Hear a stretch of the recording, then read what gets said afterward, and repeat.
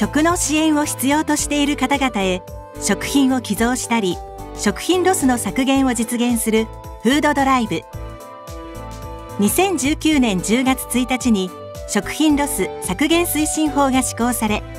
フードバンクフードドライブの取り組みにますます関心が高まっています。そうした中ユーコープでは2016年1月よりこの活動を開始し現在では全店でフードドライブ活動に取り組んでいます。今回は静岡県にあるユーコープ城北店の事例を通してどのような活動なのかご紹介します。静岡県静岡市の城北店。店内には食品の寄贈を受け付ける回収ボックスが設置されています。回収ボックスに寄せられた食品は商品配送から戻る車両を活用しておうちコープ静岡センターに集められます。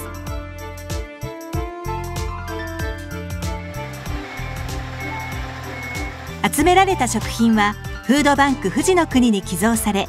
ボランティアの方々の手で主食副食などに分けた後に賞味期限ごと月別に分けていきます。また賞味期限切れやパッケージの破損などがないかチェックをし安全な食品が行き渡るよう品質管理も徹底されています。さらにそこから相談者ごとに食品を小分けにしてお子さんのいる家庭にお菓子を入れるなど家族構成に合わせた配慮もしています。仕分けが終わった食品は社会福祉協議会などの諸団体や行政に送られ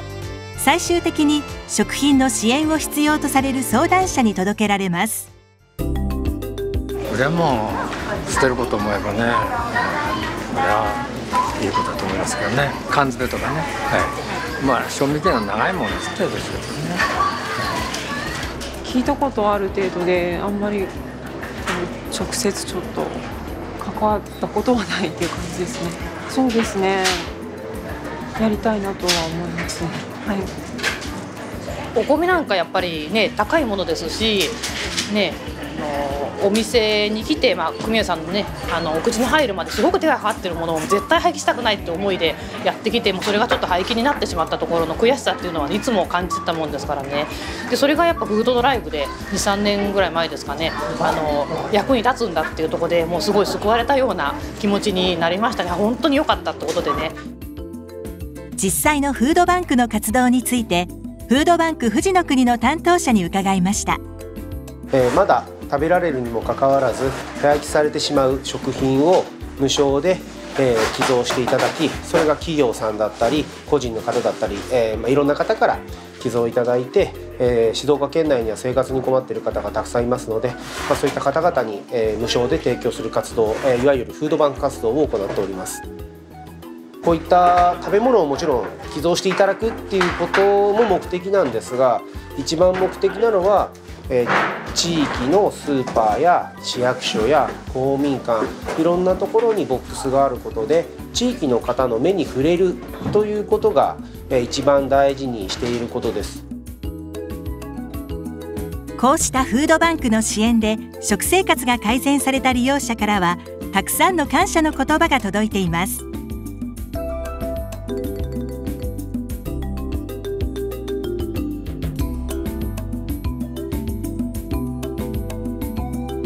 このようなフードバンクを利用されている方の状況を社会福祉協議会の担当者に伺いました。少なくても1日には1件また2件ほどはあのご相談が来ます。でそのご相談もですねあの生活困窮という困窮の人になりますので、えー、母子家庭の方、えー、高齢者の方障害の方あとは普通にお仕事が見つからなくて困っていらっしゃる方といろんな世帯の方が、えー、ご相談に来られております。ただご飯を渡すというためだけではなくてそういう生活の困窮されている方々の信頼関係を作るためにもご利用させていただいております。皆様もあのそれぞれの生活がある中でそういったものをご寄付していただきの大変感謝をしております。ユーコープでは今後もフードドライブフードバンクの活動を広げ持続可能な活動となるようフードバンク募金にも取り組んでいます。組合員と地域の皆さんのためにこれからも社会貢献を続けていきます。